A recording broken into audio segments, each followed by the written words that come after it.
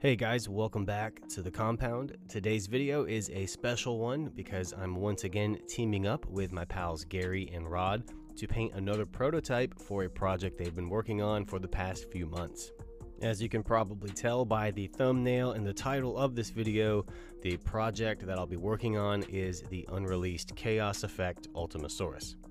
Now, I do enjoy repainting your standard Mattel dinosaur, but there's just something fun and challenging that I love about having a project like this to work on. And this one is particularly special because it was never released and it's such an iconic character from the Jurassic franchise. And being able to work on this to create the Paint Master so Gary can then reproduce it and make it available to fans of the vintage Chaos Effect line to help them fill that Ultimasaurus size hole in their collection is truly special to me, and I'm very honored to have the opportunity to work on this. So Rod and Gary have managed to get this figure as close as they possibly could to the original prototype with all of the basic articulation it would have had as well as a removable dino damage piece. Um, it's hard to grasp just how insanely cool this thing is until you have it in your hands, but just holding it unassembled, it's super solid, really massive, and insanely cool. Uh, once it's all assembled and painted, I'll do some comparisons at the end of the video with a few of the Chaos Effect figures I have, just so you can get an idea of, you know, the scale of this thing. Anyway, this video is basically just a behind the scenes look at the painting process, and it'll probably be a longer video than usual, so prepare yourself for that. There's a lot to cover, and it'll be difficult to fit this all into my standard video runtime. So, with all of that said, let's go ahead and get started. So as I mentioned before, my job is to make the paint master so Gary can make stencils of my deco and then easily mass produce a run of these in a timely manner to get them out on the market and in your hands. Now, as a lot of you know, if you do a Google search of the Ultimasaurus, you'll find a few grainy images that look like they were taken with a potato. And while those pics are okay for getting a general reference, they aren't going to really be any help for me here because I want to try and match the patterns and the colors as close as I humanly can uh, to the original prototype. And to help us achieve that, an anonymous collector was kind enough to provide us with several HD shots of the original prototype from several different angles, and I'll be using those images off camera as reference. They won't make an appearance in this video because I'm not at liberty to share them, but just so you know that the patterns that I'm doing on this figure are as close to the prototype as they can get. So the first pattern I'm going to do is the asymmetrical deco on the underside. To get that pattern, I put a piece of parchment paper over the image on my computer and then traced out the pattern. Now I'll cut it out and then retrace it over a piece of blue painter's tape and then cut that out and then carefully peel it away from the parchment paper and I've got my sticky stencil that will stick to the body of the figure. Now it's just a matter of lining it up to the figure and masking off the rest of the body so as not to get any overspray on anything that I don't want paint on. Now we'll go over the paint set I'll be using. Uh, since a majority of the figure is already printed in the base gray body color, the only things that we'll really need to paint are the red, the black, and the yellow deco.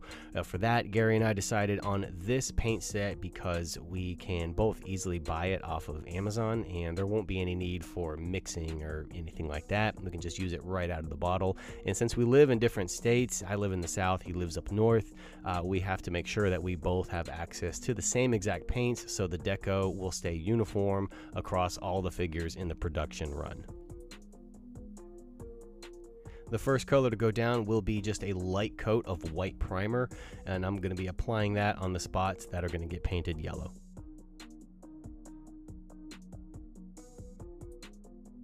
With the white primer put down, I'll pop some yellow into my airbrush thin it down, and then apply the first coat of yellow, drying it in between coats to ensure each layer is locked in.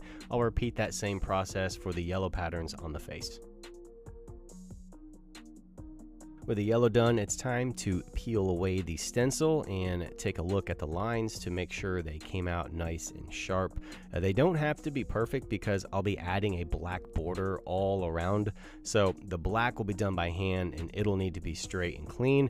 You, you know, it's weird. The deco on this figure is all asymmetrical, which is very hard for my brain to accept. I subconsciously want everything to be symmetrical and mirror the other side, but that's not what the original figure has. So we're going to roll with it, and I'm going to try my hardest not to be such a robot with the brush.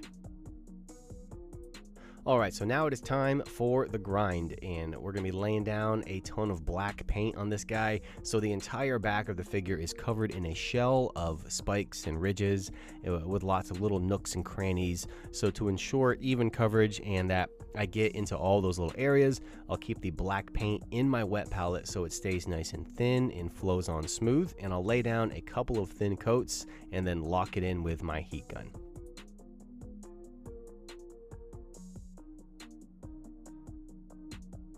And of course, in classic Chaos Effect style, the yellow pattern on the underside is outlined with a black border. And the only way to really get clean straight lines is to steady your hand on the figure and slowly draw the black lines as straight as possible. This is definitely a hold your breath moment. If you're a shaky Jake like me, this right here is a massive challenge to try and get straight, clean lines. Somehow I managed to do it and it came out really clean, so I'm happy with the way the black lines look.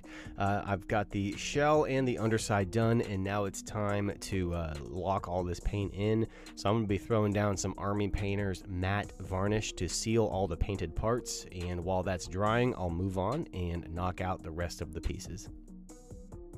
So the legs are gray and then red from the calf down. So I'll mask off the uh, gray area and lay out my patterns using masking putty. I'm using the end of a paintbrush to sort of manipulate the putty and form it into the design that I'm going for. And then I'll simply take some red paint, thin it down in my airbrush, and apply a couple of thin coats.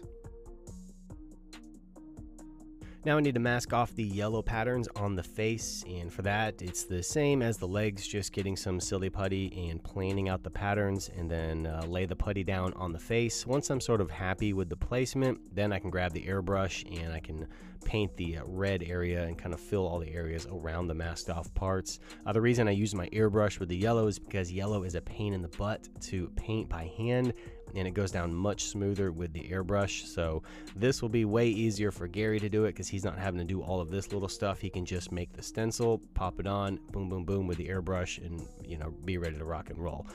So while I've got the head piece out, I'll go ahead and hit all the black deco on it. I'll paint the uh, black outlines along the yellow and then hit the horns, the beak, and the side spikes on the uh, side of the head.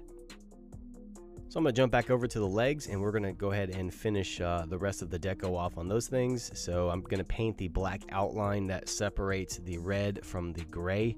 And while I'm here, I'll go ahead and hit all of the claws on both feet. So the legs are done for now and looking good. I will return to those in a minute. I've got some more deco I need to put on them, but for now, I'm going to go ahead and varnish uh, these things up, set them aside, and move on and paint the dino damage piece. This is the same as the main body section, just uh, hitting it with a couple of coats of black, and then I'll blast it with my heat gun and hit it with some varnish. Uh, and then I'll grab the arms and block in the claws on those things while I'm here. Next little piece that needs uh, some paint is the end of the tail.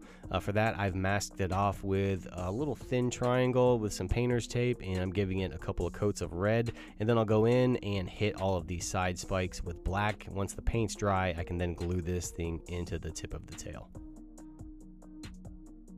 All right, so now we're going to tackle the inside of the dino damage spots. And this will be white bones with red meat. Pretty simple colors, but applying them will take some patience.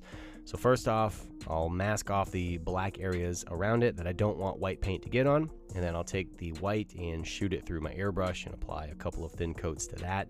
Once the white is down, I go back in with red and with a very fine tip brush, very carefully color in the meaty sections.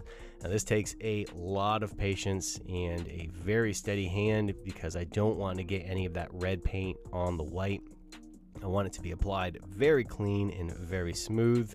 Uh, and then I'll dry it, seal it, and then cut the black areas back in to give it a nice sharp appearance. This is a an extremely stressful uh, thing to paint on this thing right here, and I know Gary is gonna absolutely love painting this. So uh, have fun with that, dude. All right, so now we're going to jump back over to the red and mask off the neck area, and I'll hit that with some red paint. A couple of thin coats should do the trick, and then of course outline uh, the area that separates the red and the gray with a black band. For the mouthpieces, they are printed in a white flex resin. So I just took some flesh and painted the tongue and the gum lines, and then I'll take some super glue and glue them into place.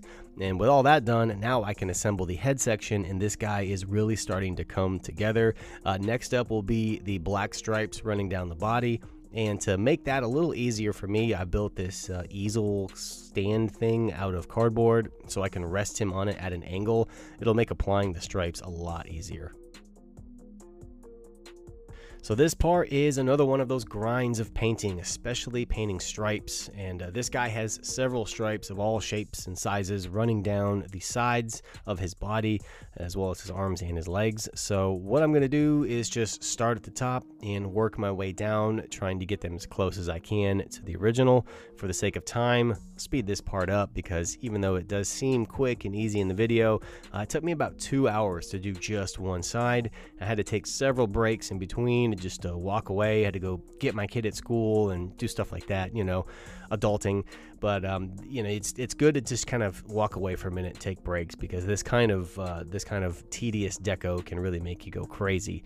So for the arms and the legs, um, since there's more room to work with on these, it's you know easier to hold them. I actually sketched out the stripes first with a pencil, and then I went back over it and then colored them in with the black paint. But once these parts are done, I'll assemble the figure and then give it a couple of coats of the varnish to really make sure that paint is locked in and it'll survive the trip back up north to Gary. And then after about a week's worth of painting and filming, this bad boy is finally done and it's one step closer to going into production for fans of the Chaos Effect line to enjoy. So we got a fun little area set up here with two Outpost Chaos sets you know, locked together, and you can check it out here from all angles and see it in all of its 90s glory. The uh, you know dino damage is smooth and it works awesome, and it's just a, the overall presence of this guy is just going to look great next to a complete Chaos Effect collection. And speaking of which, I, I don't have many uh, you know, Chaos Effect figures, uh, but I'll bring a few that I do have in so you can kind of see a size comparison, you know, between the Ultimasaurus and the other figures. And it's just so awesome how well all of these colors just pop together and they just look so insanely vibrant. I absolutely love it.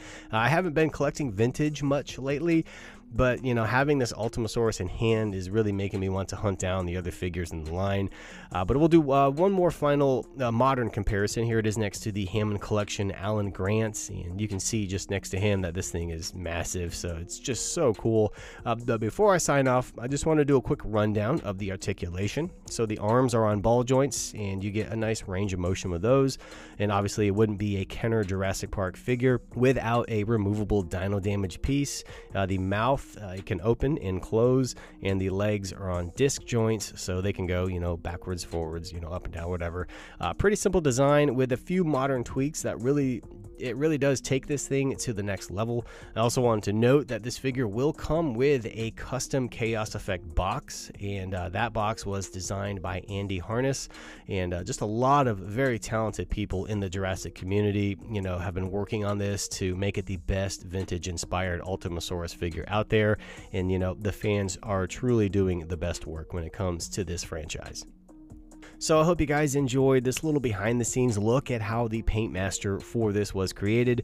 Be sure to go and follow Gary over on Instagram at Syrett Tech to know when this will go on sale.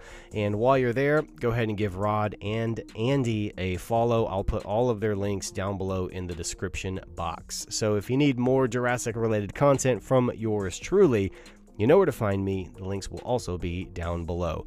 That's all I've got for this video. You guys take care, and I'll see you around the compound.